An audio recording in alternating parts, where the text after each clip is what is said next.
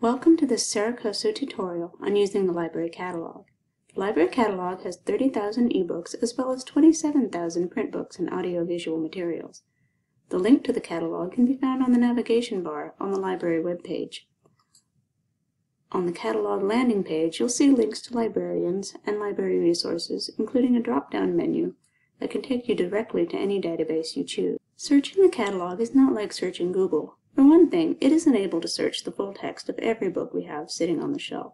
Instead, it searches what's called the bibliographic record, which usually includes the title, author, subject, and publication information, along with the table of contents and description when those are available. So let's say we're writing a paper on Shakespeare. When you start a search, you'll see a drop-down menu with suggestions and the choice of catalog or course reserves. Course reserves include textbooks and other research materials that instructors have put on reserve to be used only in the library. If you select course reserves, you can search by course name, instructor, or by the book information. For our purposes, though, let's search the library catalog. You can see that the search term is underlined. You can also see the library and the location. If it says available online, that means that this is an ebook says circulating, that means that you can check out the item. And the call number in parentheses shows you where you can find it on the shelf. If it says other locations, that means that there is more than one copy. As you can see, Shakespeare is a pretty broad topic, it gives us over 600 results. So we can narrow our search down by changing the keywords to something more specific or by applying filters. The Refine Your Results sidebar lets you apply these filters. So, for example, if you only want to see ebooks because you're writing this paper the night before it's due, you can select Available Online, and then click Apply Filters. Creation date is another good filter, depending on your subject.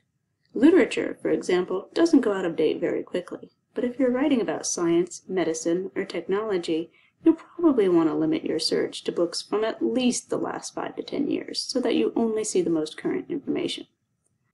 The downside is that you might also filter out older classics in your field that might be useful. So even with our filter, we still have a lot of results here, so we may want to do another search with more specific keywords.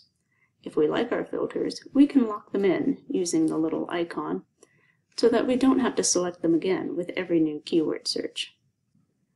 If you are signed in to the catalog, you also have the option of pinning individual titles. Click on the pin next to a title, and it will go to your favorites list up here at the top.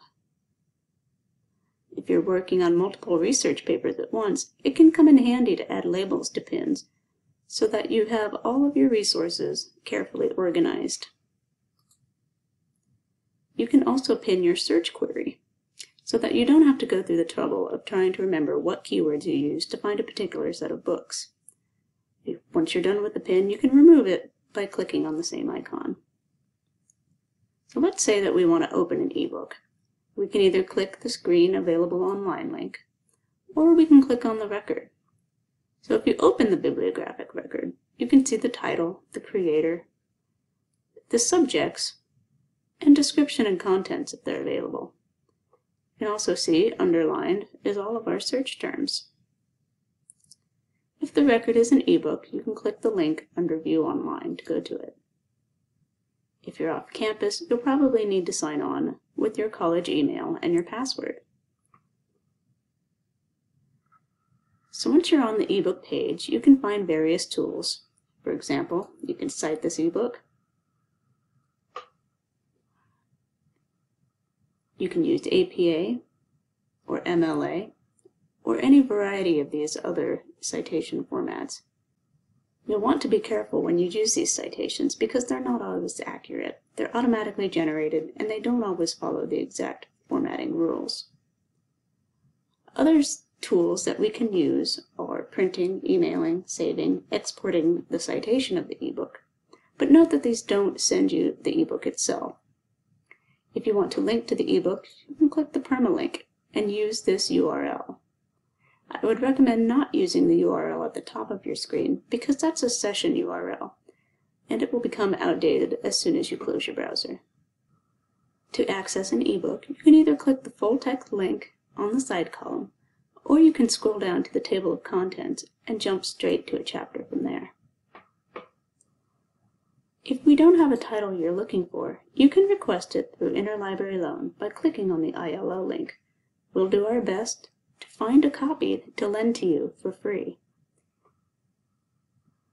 So if you have any questions, please don't hesitate to contact a librarian by email, request form, or chat. We look forward to helping you with all of your library research.